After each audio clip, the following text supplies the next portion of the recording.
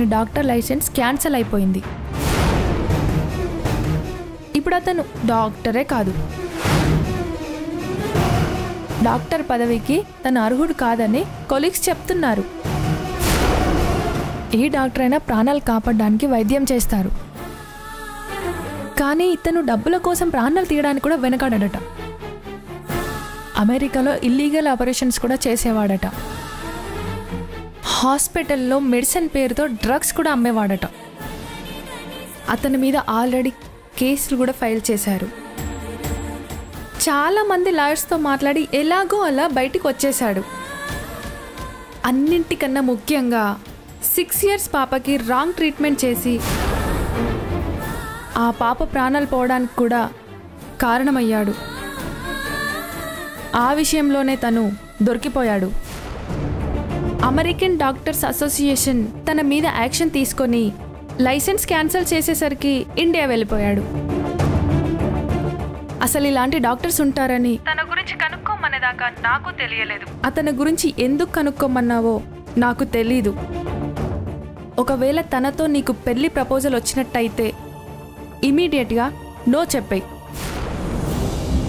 America doctor అనగానే వీడేదో పెద్ద పొజిషన్లో ఉన్నాడని అనుకుని ఉంటారు. So be serious Srivalli. కానీ వీడు అలాంటి వాడు కాదు. పెద్ద మోసగాడు. నువ్వు అతని గురించి నన్ను అడగడం చాలా మంచిదైంది. ఇక్కడ అతను చేసిన నేరాల గురించి అక్కడెవరికీ తెలీదు. సో అబద్ధాలు చెప్పి మోసం చేసి ఏదో అలాగా నిన్ను పెళ్ళి చేసుకోవాలని అనుకుని ఉంటాడు. నువ్వేదో ఒకటి ఆలోచించి నిర్ణయం తీసుకో. సరేనా సరే సరే okay bye take care bye dear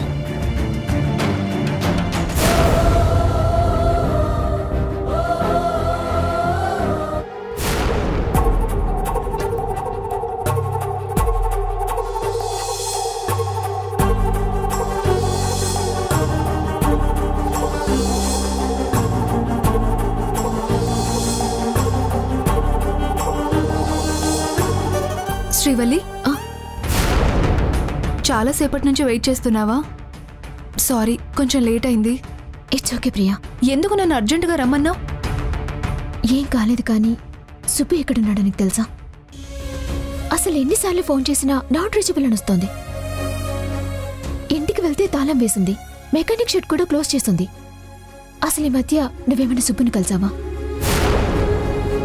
అడుగుతుంటే ఆన్సర్ చెప్పకుండా అలాగే నిలబడి నామో అని చూస్తావేంటి? అర్జెంటుగా నన్ను రమ్మంది కాల్ చేసింది సుబ్బు గురించి తెలుసుకోవడానికా?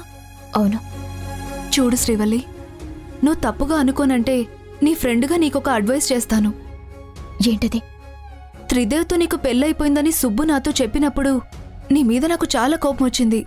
కానీ నీ హస్బెండ్ ఎంత మంచివాడో ఆ రోజు రిసెప్షన్లో చూశాక అలాంటి రెస్పాన్సిబుల్ పర్సన్ నీ హస్బెండ్ అయినందుకు హ్యాపీగా ఫీల్ అయ్యాను. మగాళ్ళ సైకాలజీ గురించి నాకన్నా నీకే బాగా తెలుసు.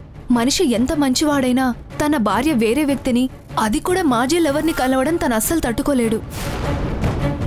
నువ్విలా సుబ్బుని కలవాలన్న విషయం త్రిదేవికి తెలిస్తే పైకి నీకు చెప్పలేకపోయినా మనసులో చాలా బాధపడతాడు.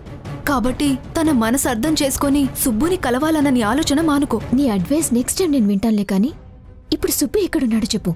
ఏంటే? అంత చెప్పినా మళ్ళీ అదే మాట మాట్లాడుతున్నావు? అసలు తనతో నీకేం పని? అవన్నీ తర్వాత చెప్తాను ప్రియా. ముందు నాకు సమాధానం చెప్పు. సుబ్బు అసలు ఎక్కడున్నాడు? ఏమైపోయాడు? నీకేమైనా చెప్పాడా? నీ రిసెప్షన్కి అతను అన్నీ మర్చిపోయి ఒక ఫ్రెండ్లా వచ్చాడు. కానీ నువ్వు ఇక్కడికి ఎందుకు వచ్చావు? ఇక ఎప్పుడు ఇక్కడికి రాకొని మాట్లాడావు. అది సుబ్బు తట్టుకోలేకపోయాడు.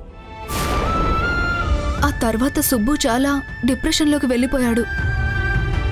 అతన్ని మామూలు మనిషి చెయ్యాలని నేను ఆది గారు చాలా ట్రై చేశాం. కానీ అతను నార్మల్ కాలేకపోయాడు. ఇక్కడే ఉంటే నీ జ్ఞాపకాలు తన మనసుని బాధపడతాయి అనుకున్నాడు. లేక ఆ బాధలో నిన్ను చూడాల్సి వస్తే అది నీ లైఫ్కి ప్రాబ్లం అవుతుందనుకున్నాడో తెలీదు కానీ ఇక్కడి నుంచి వెళ్ళిపోయాడు. వెళ్ళిపోయాడా? అవును. మెకానిక్ షెడ్ని కూడా అమ్మేశాడు. నాకు తెలిసి ఇక మళ్ళీ తను ఎప్పటికీ తిరిగి రాడు. సిటీ వదిలి వెళ్ళే ముందు నన్ను కలిశాడు. విషయం అంతా చెప్పాడు. వెళ్ళొద్దని నేనెంతో నచ్చ చెప్పాను. కానీ నా మాట అస్సలు వినలేదు. శ్రీవల్లితో ఎంతో జీవితం ఊహించుకున్నాను. కానీ ఇప్పుడు నా లైఫ్ అంతా చీకటిమయం అయిపోయింది తన భర్తతో తను ఆనందంగా ఉంది. ఇక నేను ఇక్కడ ఉండడం కరెక్ట్ కాదు. నన్ను బలవంతం చెయ్యకు అని మరీ మరీ చెప్పి వెళ్ళిపోయాడు. వెళ్ళేటప్పుడు తనొక ఒక మాట కూడా చెప్పాడు శ్రీవల్లి. ఏంటది? శ్రీవల్లి జాగ్రత్త అని సుబ్బి ఇలా వెళ్ళిపోతున్నాడని కనీసం నాకు ఒక ఫోన్ అయినా చేసి చెప్పొచ్చు కదా? చెప్తే ఏం చేసి ఉండేదానివి? వచ్చి ఆపుండేదానివా లేదు కదా. అలాంటప్పుడు నీకు చెప్పే ప్రయోజనం ఏముంది? సుబ్బు వెళ్ళిపోయాడన్న సంగతి ఎవరికి చెప్పొద్దన్నాడు. ఆఖరికి నువ్వొచ్చి అడిగినా చెప్పొద్దని చెప్పాడు. త్రిదేవ్తో నీ పెళ్ళి జరగడం దేవుడి నిర్ణయం. కానీ ఆ దేవుడు సుబ్బుకి మాత్రం అన్యాయం చేశాడని చెప్పాలి. తను అసలు ఎక్కడికి వెళ్తున్నాడని నీకేమైనా చెప్పాడా? చెప్పలేదు. అసలేమైంది? సుబ్బు గురించి ఎందుకు ఇంతగా అడుగుతున్నావు? సుబ్బు చేయవలసిన ముఖ్యమైన పనొకటి ఇంకా మిగిలిపోయింది. సుబ్బు చేయవలసిన పని మిగిలిపోవడం ఏంటి? ఏం లేదులే. It's okay I can manage ఏంటే? ఏదైనా సమస్య? నాతో చెప్పు. వీలైతే నేను హెల్ప్ చేస్తాను. అలాంటిదేం లేదులే. ఉంటాను.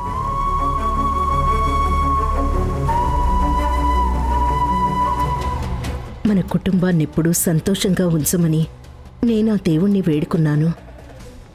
ఆయన నా ప్రార్థన తప్పకుండా వింటాడు. శుభాలు తప్ప అశుభాలనేవేవి మన ఇంట్లో ఉండవండి.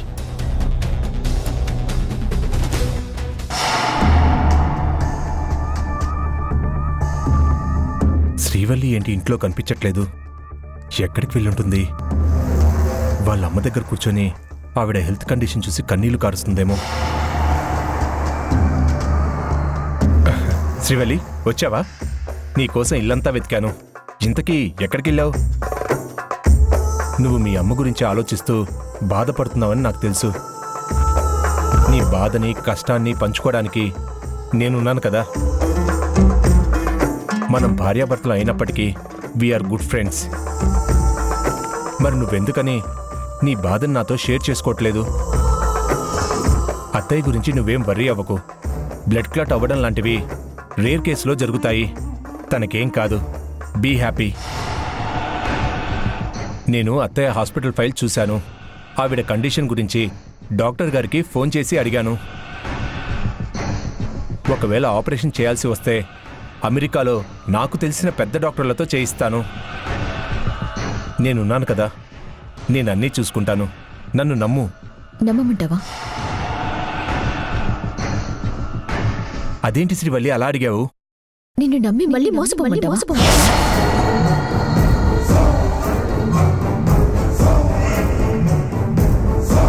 మోసపోవడం ఏంటి? ఎందుకంటే నువ్వు మోసగాడివి మోసగాడివి కాబట్టి.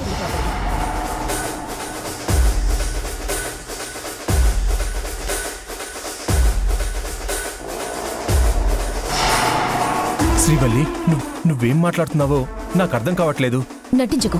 నిజం చెప్పు. నన్ను ఎందుకు మోసం చేశావు? మోసం చేశావు? మోసం చేశావు?